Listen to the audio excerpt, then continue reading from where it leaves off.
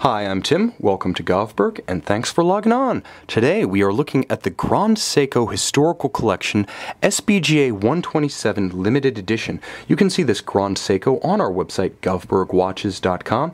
And if you enjoy these videos, please subscribe to our app, Govberg On Time, for the latest news, views, reviews, and multimedia of luxury watches. Now, this is a 2015 limited edition of 700, designed to pay tribute to the original 1967 first of the line automatic Grand Seiko watch. That was the 62GS.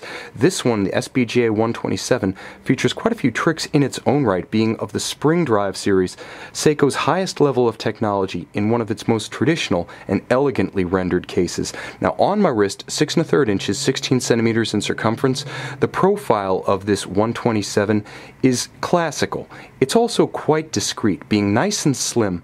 The model itself is only 12.8 millimeters thick, and with a generously sloped case flank and a domed sapphire, it's very easy for a dress cuff or sleeve to slide up and over this watch. Now, it is 40 millimeters across the round of the case, so the size is a perfect match between modernity and traditionalism. It's also 50.5 millimeters from the outermost horn of the solid end link of the bracelet to the opposite side. When dealing with modern solid end link bracelets, it's best to measure from the outcropping of solid end links rather than lug to lug. It gives you a truer standard for judging the fit of the watch. So it has broad shoulders, but not excessive. Now this is a titanium reference, so it's very light on the wrist. Everything, case, bezel, bracelet and clasp is beautifully finished, and Seiko does a great job of using contrast as a sort of jewelry effect on this bracelet, clasp, and case. Now, the intermediate links are polished for high contrast, whereas the flanking links and the center links are beautifully brushed with a satin finish. There's a little bit of a polished bevel across the shoulders of the outer links. Again, beautiful to set off the metal itself. Seiko does a great job of using the titanium to create a jewel-like effect. No need to resort to precious metals or two-tones. The faceting, the alternating polish, and satinated portions are gorgeous, and it continues on the dial itself. Now here we see a beautiful, rich, lustrous blue, and it actually steps down from that tall, vintage inspired domed style sapphire to the beautiful lustrous blue dial itself via a flange. This Rehaut-like flange outboard of the hour track serves as a scale for the minutes and the seconds and provides a nice visual transition down to the dial. The dial is of exceptional quality. Now all elements are applied and quite beautifully. They're polished and faceted for a little bit of a dazzling effect. Seiko does a great job of integrating the power reserve discreetly, just a little bit of traditional off-centered calculated asymmetry to make the dial intriguing, but it is lightly balanced off-center by the date window at 3 o'clock, which features a beautiful polished frame. Now, the hands at center are an interesting take on Dauphine. They're satinated across their tops, but they are faceted and polished along their edges, so they catch light in interesting ways that really animate the dial. The best way to describe the dial is a sort of lustrous cobalt blue. It does change in direct light. The soft light of the light box really doesn't flatter it. When it's in direct sunlight, it explodes, and then it almost looks like lacquer or enamel. It has a look that it's almost wet, that it's deep, and it's beautiful.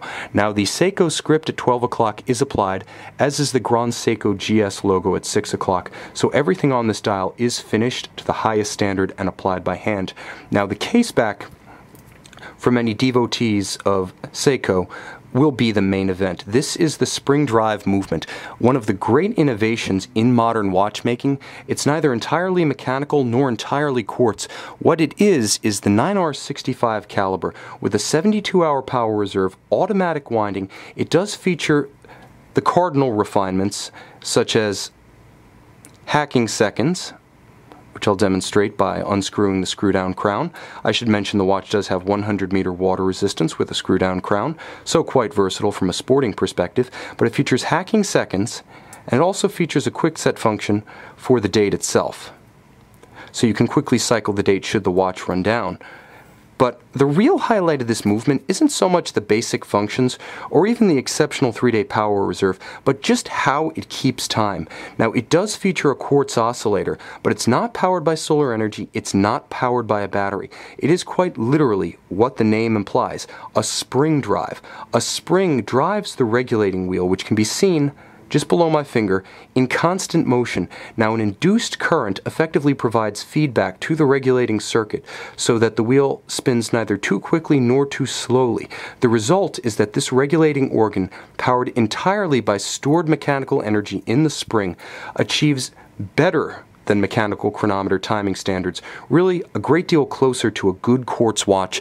Deviation, even of a chronometer grade wristwatch, can amount to minutes per month. In the case of the spring drive caliber 9R65, deviation is rated as plus or minus 15 seconds per month.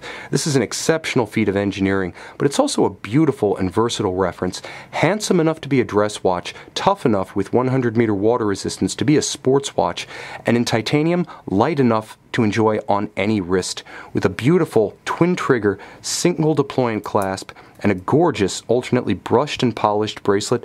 This watch can be considered the total package. You can see it on our website govbergwatches.com